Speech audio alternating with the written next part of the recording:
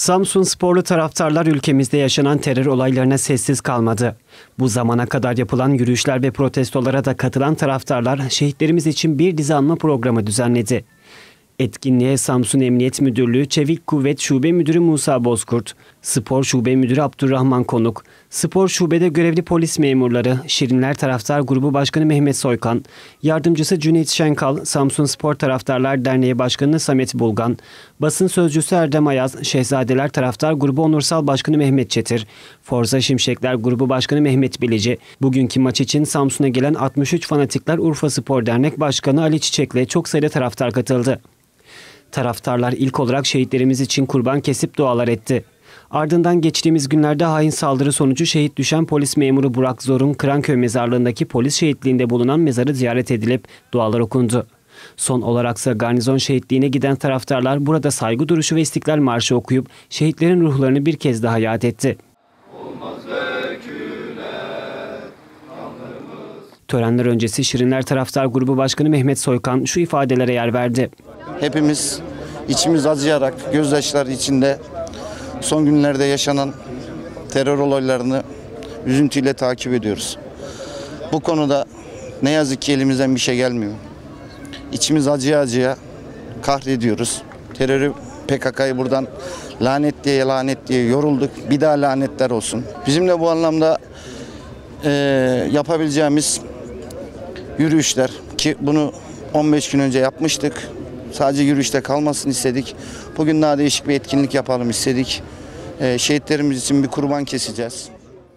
Samsun Spor Şanlıurfa Spor maçı için Samsun'a gelen 63 fanatikler Urfa Spor Dernek Başkanı Ali Çiçek ise şöyle konuştu. İla biz kardeş bir şehir olmuşuz, kenetlenmişiz.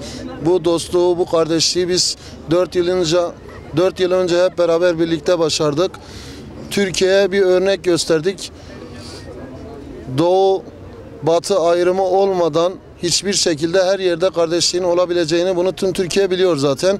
Biz de Samsun'la kardeşiz bu şekilde ve bizi davet ettiler e, maça. Biz de gelmek isterdik ama e, son günlerde yaşanan terör olaylarıyla ilgili yolda otobüslerin taşlanması var. Otobüsler taşlanınca ister istemez insanlar tedirgin oluyor. Yani her Kürt PKK değildir.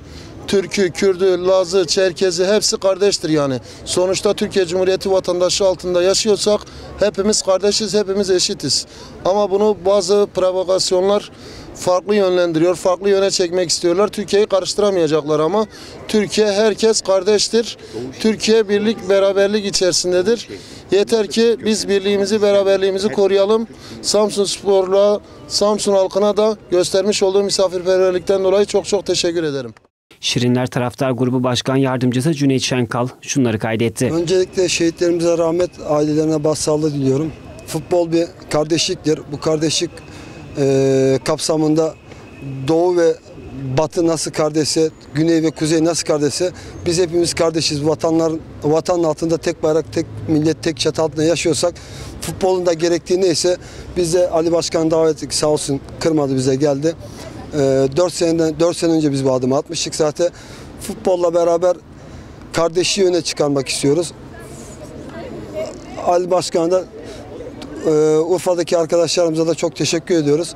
Sonuçta hepimiz biriz, hepimiz tekiz.